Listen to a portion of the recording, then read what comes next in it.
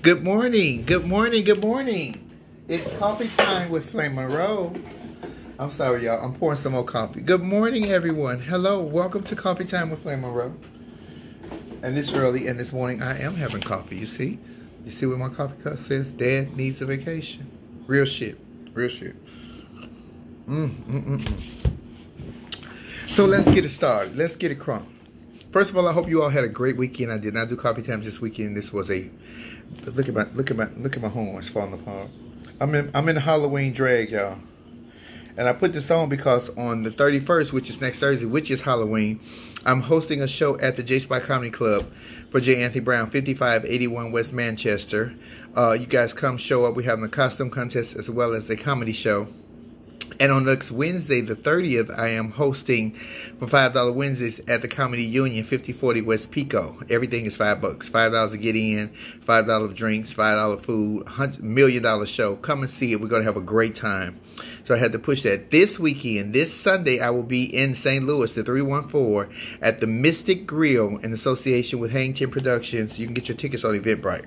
Also, you can get your tickets on Eventbrite for Halloween at the J Spot. My boy J. Anthony Brown talks about it. He's on the Steve Harvey Morning Show every day. You can hear it and uh, he's um, out of chemotherapy. He's doing great. So I'm so glad that he asked me. I absolutely love and adore J. Anthony Brown because J. Anthony Brown was checking for me long before Netflix. So thank you, J. Anthony Brown.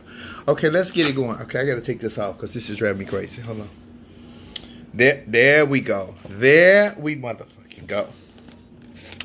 I was watching the interview, um, ladies and gentlemen, with Meghan Markle, who is the princess that Prince Harry married from Compton and took across the pond to England to live in the uh, in the palace.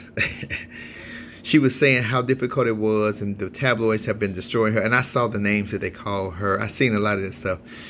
Uh, it was it was horrible, but she won. So here it is. They can say whatever they want to because not only did he marry her, but she has his child. So forever will she and her son, if and if she has other children, and those royals believe in procreating because that damn Prince William won't stay up out of uh, Miss Woman's snatch. She get 9,000 kids. I think they're trying to have another one. So she will forever be taken care of. So for all you people who hated that she was part African American or this or that and woo woo and she was up in the Queen's Palace, nah, nah, nah. Like we said when we was kids, nah. She won. She's already in there. Say what you need to. She is a royal she will be taking care of her and her children for life, for all their lives, because that's what they do. Don't be mad at her because she got that black girl magic. Prince Harry had been around the world and I, I, I, just like Meghan, just like um, Lisa Stansfield said, baby, he had been around, he had had all the flavors of the rainbow, been around the world and I, yeah, yeah. That nigga stopped in Compton for a blunt and some chicken wings and got a hold of that black, old black girl magic. Meghan put that bedroom spin on that ass. That nigga said, I'm gonna go across this pond and talk to this old bitch, the queen. Look at here, old bro. I don't, I don't care how you don't feel about this. Woo. Y'all, y'all terrorize my mama. I'm marrying this black bitch right here. Yes, he did. And she had his baby. And if she's a smart bitch, she'll pull it down around and have two, three more back to back. You know, that's insurance. Come on, Meghan Markle. A sister is in is in the in the palace, bitch. So for all you haters that hate it, hate on me, hater, now or later, cause she is a princess and y'all is mad. Ah! Do it, Meghan Markle. Suck his dick from the back and stick your nipple in his booty. Make that nigga never leave you. Oh, baby, it's a trick I learned when I was young. So, hats off to Meghan Markle. She is our princess. She's a she's the world's princess. So, for all you people who cannot take it, kill yourself. Let me go on to um this week is also the week, prep week for Mr. and Miss Black Universe in Atlanta, Georgia. You guys, if you're in Atlanta, go to the pageant. I'm not exactly sure where it is, but I know it's this weekend, which is the 25th, 26th, and 27th. So you guys go out, enjoy the pageant. Naisha Dupree is the mayor of Atlanta. She will definitely be there. And it's going to be a fantastic contest. Um, I just looked at something on um, CNN CNN don't always get it right to me. I didn't like the debates that they brought up that whole Ellen thing with that whole Ellen and who Ellen was friends with. People can't pick and choose your friends. We, may not agree politically or sexually or on a whole lot of other things, but that don't mean that we can't be friends. People think has such small minds, so damn petty. It irritates me.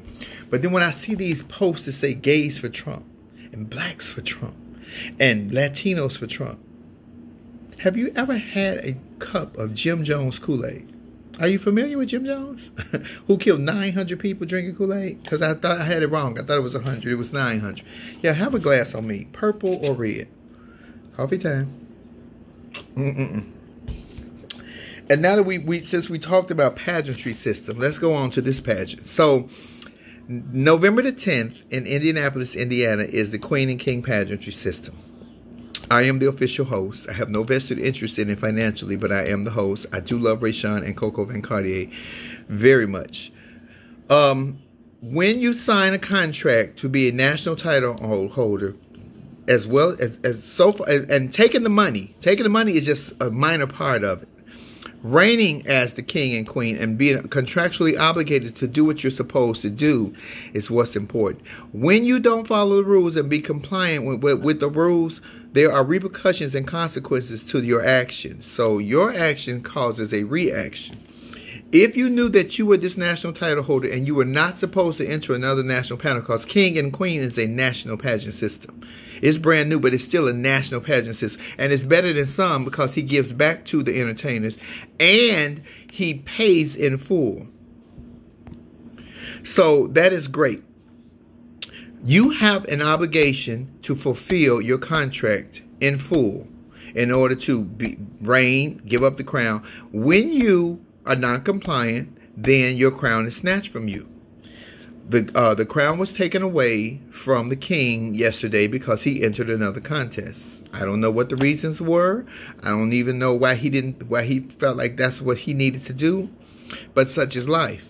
So you have to deal with the consequences of what comes behind. This in no way reflects the system because I sat there and watched Rayshawn count that money off of the king and queen last year. They got all their money. He set up for professional photo shoots and flew them to contests to sit in the audience to represent, to do national walks.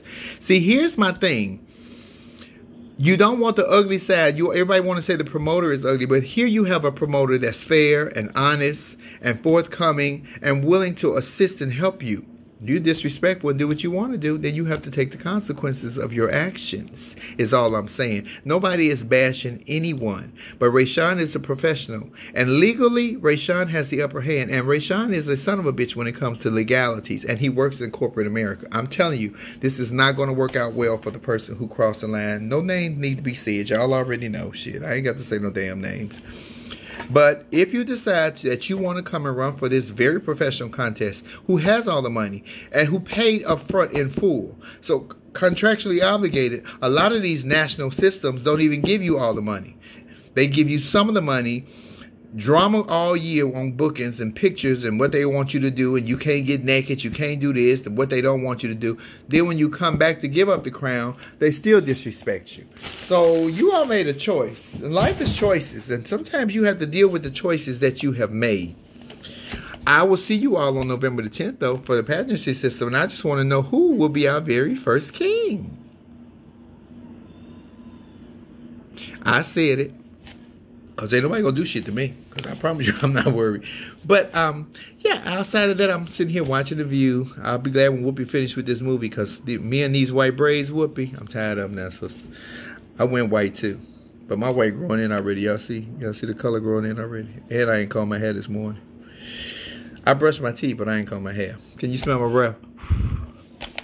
Ooh.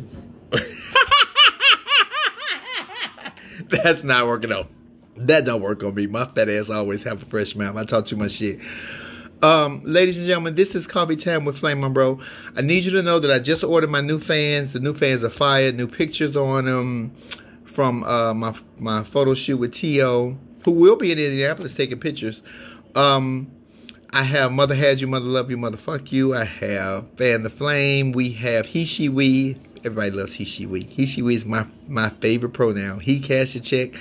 She get the money and we spend it. That's one bitch. Ooh, so when y'all get to the pageant, fan the flame, man. Fan it. Uh, I just need you to know that Coffee Time is about to go big. I want you guys to continue to uh, subscribe to my YouTube channel, share with your friends, like, post, all of that.